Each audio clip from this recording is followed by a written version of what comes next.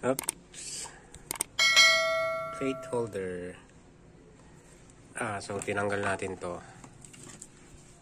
Kasi papangitan talaga ako dito eh. So, andito siya dati eh.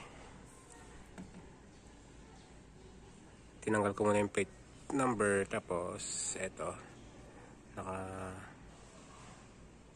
screw siya dyan so expected may butas dito. Uh, hopefully matatakpan naman ata siya ng plate number. So ayan. So linisan ko na lang siguro. Wala na siya nakaumbok. Diba? Ayan.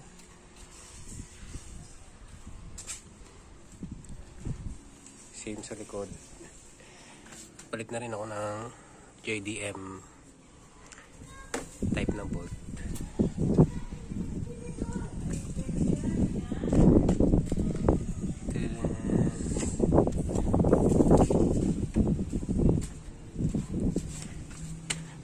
So lalagyan na lang natin. Tapos na. Pakita ko na lang mamaya yun.